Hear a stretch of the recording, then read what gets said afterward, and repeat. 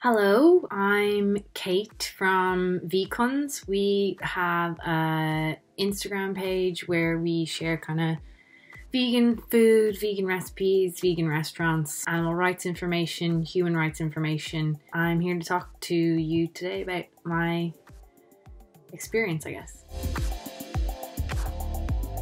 So three of us run the page. Um, I'm Kate, and then there's Linda and Evelyn as well. I guess I'll kind of answer for all of us because we're very much linked. We were best friends when we were really small. We all bonded over our love of animals. We had been vegetarian since we were allowed to really. We just loved animals. We hated any harm coming to them. When we were vegetarian, we all kind of knew there was problems with the dairy industry and the egg industry and you're kind of going, okay, I know these things are wrong. How can I kind of take an extra step? We just kind of all knew that going vegan was the right thing to do. I went vegan when in 2015. It was kind of when people were taking climate change a little bit more seriously, maybe, and there was just no denying that other animal industries were, you know, harmful to animals and harmful to the environment.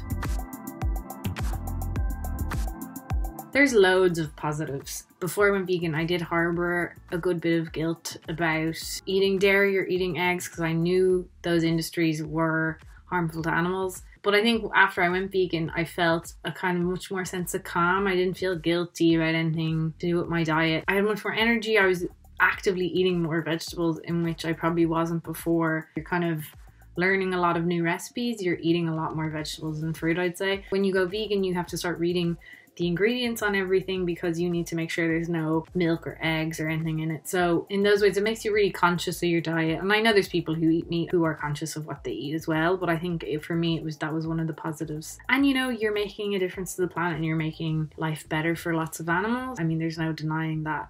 Um, is going to make you feel good and be a positive.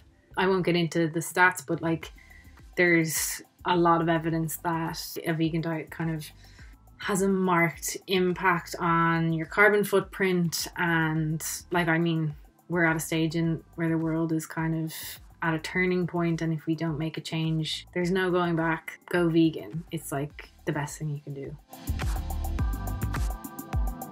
there's kind of very superficial negatives, I suppose, in that, like, if you go to a family dinner or a dinner with a lot of friends who aren't vegan, it can be awkward. It can be embarrassing to have to ask for a vegan option when it's like a very meaty restaurant or a fish restaurant. You'll get the jokes, you'll get people asking you a lot about it, people kind of questioning it, people getting annoyed that you're vegan, even though you haven't kind of confronted them at all, which are all kind of not very nice to deal with. But I mean, they're all kind of superficial things. I don't think there's anything massively negative about it at all. Even since I went vegan in 2015, there has been so many more options made available to vegans. You'll find a way to replace what you're missing. It just takes a little bit of homework.